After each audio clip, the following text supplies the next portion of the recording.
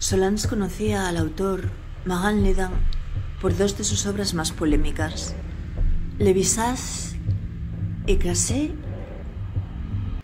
2011, una novela acerca de la sumisión y sus mecanismos y del sufrimiento laboral, y León qui habille León 2014.